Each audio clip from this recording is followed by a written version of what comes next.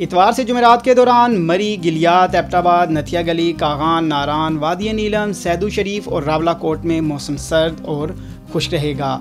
जबकि मंगल से जुमेरात के दौरान सवा, चित्राल, गिलगित, अस्करदू, अस्तौर और वादी हंजा में हल्की बारिश और पहाड़ों पर हल्की बर्फबारी का इम्कान है। इतवार से जुमेरात के दौरान ज़्यारत और इससे मुलहिका इलाकों में भी मौसम सर्द और खुश्क रहेगा।